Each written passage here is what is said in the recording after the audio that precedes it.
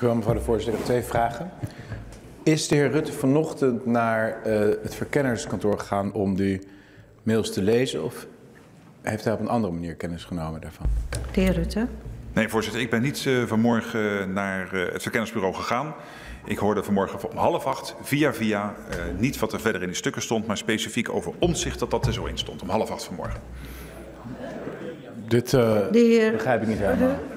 Dus, ja. Kunt u de heer Baudet, iets specifieker zijn uh, wat er, hoe dit nou gegaan is? Vanochtend om half acht via via. Heeft u uw eigen gespreksnotities toen toegestuurd nee, gekregen? Niets toegestuurd gekregen. Ik hoorde om half acht vanmorgen via via, ik kan die bron niet onthullen, dat is vertrouwelijk. Via, ja. Ik geef de heer Baudet oprecht antwoord. De, ja, ik hoorde vanmorgen om half acht via ja. via dat in die notities uh, stond uh, omzicht minister. Dat hoorde ik vanmorgen om half acht.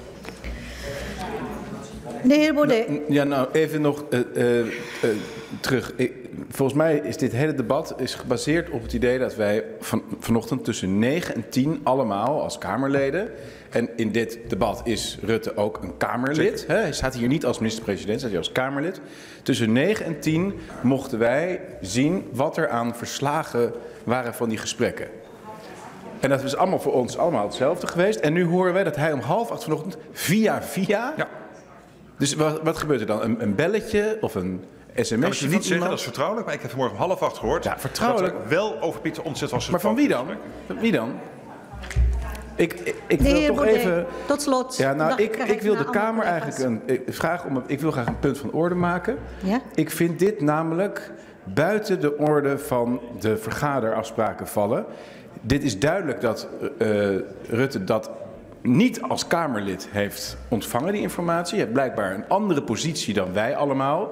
Terwijl hij hier staat als Kamerlid en ook wordt aangesproken op gedrag in de formatierol of verkenningsronde, dus ook als Kamerlid. Ik vind dit onacceptabel. Ik ben heel Wat is uw hoe... punt van orde? Nou, ik wil dat wij, dat, dat, wij dit niet accepteren. Dat we niet accepteren dat hij zegt via via en dat hij daarmee weg. Voor de helderheid, voorzitter. In ieder geval, ja, ik heb een punt van orde. Op geen enkele Wat? manier gelinkt met algemene zaken. Helemaal daarbuiten, dat wil ik hier gezegd hebben. Maar ik hoorde via via, vanmorgen om half acht, dat is de waarheid. Dat uh, in mijn gespreksverslag, uh, of in de aantekeningen die eronder lagen, maar dit kan uh, toch niet maar dat wij dit meneer accepteren? Baudet, meneer Baudet, u, meneer Baudet, u heeft een punt van orde. Wat is het punt van orde dat u wil voorstellen? Ja, dat, dat laat ik aan de heer Klaver om dat te formuleren. Voorzitter. De heer Klaver. Dank u wel, meneer Baudet. Dit, dit belooft veel voor de, volgende periode, voor de komende periode. Uh, ik zou het volgende willen voorstellen. We geven de heer Rutte, stellen we nogmaals de vraag en hij heeft de mogelijkheid om te antwoorden wat via via betekent. Zo niet, dan schorsen we dit debat en dan halen we het hele kantoor van de verkenner overhoop. Want ik wil nu weten waar deze informatie vandaan komt. Wij hebben inderdaad vanochtend tussen uh, 9 en 10 daar, kunnen, daar uh, informatie kunnen krijgen. Als je om half acht deze informatie hebt gehad, of de heer Rutte vertelt het ons, of we gaan uh, opnieuw informatie opvragen. Wie heeft er contact gehad vanochtend met de heer Rutte? Welke documenten zijn er gedeeld? Ja, is er gemaild? Is er geappt? Is er gebeld? Niet, dus dat is mijn punt. Voor nee, punt van orde is simpel. Even, ja, heel kort. De, als u mij de kans ja, geeft. Ja, dat wil ik nu doen. En maar kort formuleren, zodat ook collega's kunnen zeggen... we steunen het of niet. Als de heer Rutte geen antwoord geeft op de vraag wat via via betekent... zou ik willen schorsen. En dan zou ik u willen verzoeken, want de verkenners zijn bij onze dienst... om u naar, het, naar de verkenners uh, te gaan om te vragen... wie er contact heeft gehad met de premier... en alle informatie die daarvoor uh, voor me nodig is, naar boven te halen. Ja, voorzitter, moeten we schorsen. Dan moeten we schorsen, want ik ja? moet daarvoor een bronprijs geven en dat vind ik Goed. ingewikkeld. Dat is niet algemene zaak, wil ik hier nog een keer zeggen. Goed. Uh, maar ik vind dat wel ingewikkeld. Uh, het punt van orde, Voorzitter, wel of geen steun? Hetzelfde punt, ja? ja? punt van orde, steun. Kijk, voor ja. ons gelden hier allemaal dezelfde regels. En het kan niet zo zijn, dat is gewoon corruptie, dat één partij of de minister-president de informatie via via krijgt en wij niet. Dus ik vraag u inderdaad om nu te schorsen om die informatie te krijgen. Goed, uh, ik wil toch kijken of uh, dit punt van orde breed wordt, wordt ondersteund. En u hoeft alleen maar ja of nee te zeggen. Dus jullie hebben allemaal vijf minuten spreektijd en interrupties. Daar kunt u ook uw uh, andere punten maken. Dan ga ik naar mevrouw Den Haan. U stond voor iets anders, maar nu is de vraag, ja, steunt u het punt van orde? Ik stond voor wat anders inderdaad, ja. maar ik steun het punt van orde en uh, okay. ik schort mijn verdere vragen even op. Ja. de heer Azarkan. Ja? ja, voorzitter, ik steun het voorstel van okay. collega Klaver. Ik zeg er wel bij, ik denk dat het verstandig is dat de verkenners een overzicht laten zien van wie dan die kennis had. Dus als die persoon niet hier kan komen om het aan de Kamer mede te delen, wil ik graag beschikken over een document wie de informatie had die ertoe heeft geleid dat iemand anders, namelijk de heer Rutte, al om half acht over die informatie beschikt. Ik wil graag een overzicht van wie toegang heeft tot die informatie. Dus u steunt het verzoek, mevrouw Ploemen? Steun voor verzoek van collega Klaver. Mevrouw Simons, ik kijk gewoon wie dicht bij de microfoon staat. Ja.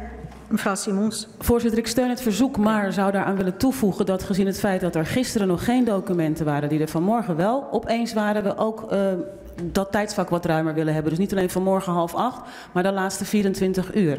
Uh, zou ik graag willen weten of er contact is geweest tussen bijvoorbeeld de heer Rutte en de verkenners over de documenten die we gisteren niet kregen, maar die er vanmorgen wel waren. Terwijl de verkenners hadden gezegd dat ze Goed, alles al hadden gegeven. Ja, mevrouw Marijnissen. Dank u wel, voorzitter. Steun voor het verzoek. Uh, het wordt steeds gekker. Mark Rutte had er zelf geen herinneringen aan. We hadden twee verkenners in de zaal zitten. Die hadden er ook geen herinneringen aan. En de ambtenaar was het niet. Dus wie was het dan wel? Mevrouw Ouwehand. Ja, voorzitter. Steun voor het oorspronkelijke verzoek en alle aanvullingen van de collega's. Ja. Uh, kijk, de heer, de heer Hoekstra. Steun voor het verzoek, voorzitter. Mevrouw Kaag. Steun het verzoek en de schorsing ook die gevraagd is... om dan in zo snel mogelijk helderheid te kunnen verschaffen. Ja, de heer Segers. Steun voor het verzoek. Wie heb ik nog niet? De heer Van der Staaij, mevrouw Van der Plas, de heer Eertmans. Steun voorzitter.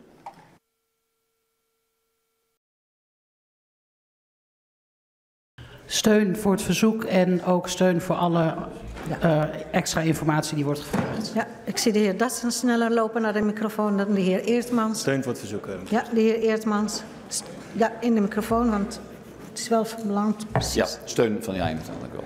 Ja, heb ik iedereen gesproken? Dan, um, ja, het punt van orde is om nu te schorsen en uh, informatie over de opmerking van de heer Rutte op te vragen. Dan stel ik voor om een half uur te schorsen. Is dat voldoende? Kijk ik ook naar de heer. Ik hou contact met u. Ja, ja. oké, okay, dank u.